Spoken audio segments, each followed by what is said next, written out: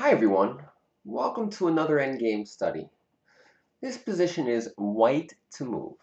As always, you should pause your video, try to find the solution on your own, and then when you're done, I'll try to solve it too. Fun times. Um, so what is happening here? Clearly, uh, I'm going to start solving, so if you're not done, keep paused, of course. But I'm going to, I'm trying to queen this e-pawn, and the question is, how do I do it? Um, not so obvious. If e6, bishop c2, e7, bishop g6. That seems to stop it. There should just be some tricky move that I'm missing. Um, let's look at bishop b3 and bishop c4. If bishop b3, bishop takes, king takes, king b7, stops the pawn. If bishop c4, he can just bring the king in, right?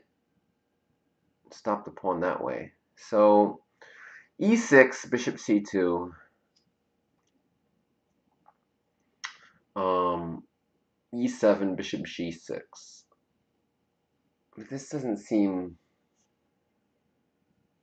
like it works either. Huh.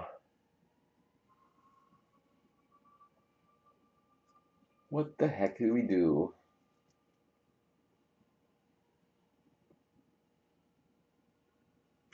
Oh man, e6 bishop c2 I don't know. Uh e7 I mean I'll show you the moves. I'm just just totally missing something obviously. It seems very difficult to to win this position Uh, bishop b1, you can just go king b7. After e6, king c7, e7, king d7. And we're not, we're not going to make a queen.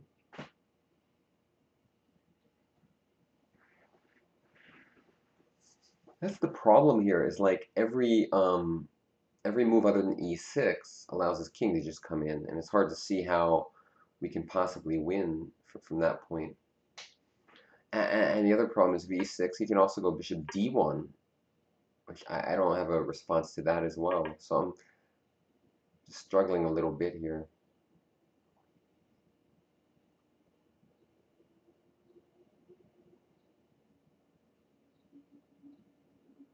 One moment.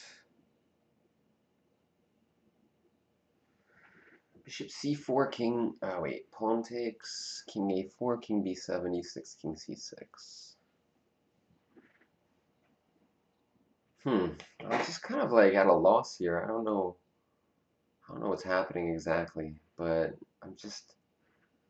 I'm gonna guess e6 is the first move. Maybe I'm. I feel like I'm missing something obvious because it should be simple. There's not that much going on, but I'm gonna go e6. It says I'm wrong. What the hell? what am I missing in this position?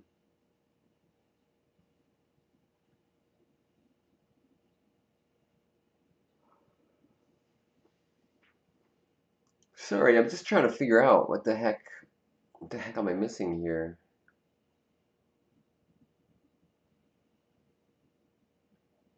I must be missing something. Well, I give up. What's, a stupid answer? Let's see what Houdini says. I'm so confused.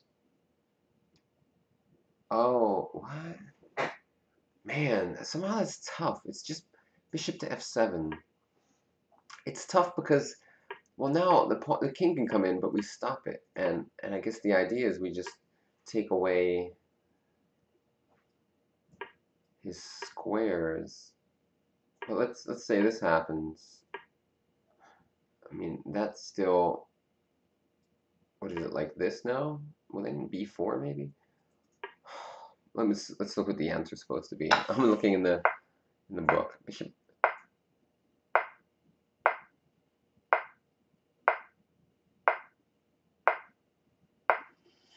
All right, so it says this move, king c5. Oh, so if b4, we still do this. And if bishop here, bishop here to c6. I just miss bishop b7 as a possible move, honestly. The key is it defends the e8 square, so that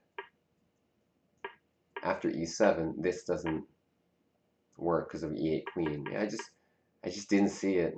It's very sad. um, sorry guys. I guess I'm wrong. Thanks for watching. And yeah, after this, there's no way to, to defend because of uh, the line we just saw. The king comes in, it's going to kick the bishop out of defending from the square. And if, if he tries to defend it, bishop e6. If he tries this, bishop d5. That's a cool puzzle Samaj, just because I got it wrong. So it means there's something um, something trickier about it than meets the eye, because it's, it's not really that complicated, but I just couldn't see the move. It's really weird. All right, see you next time. Bye-bye.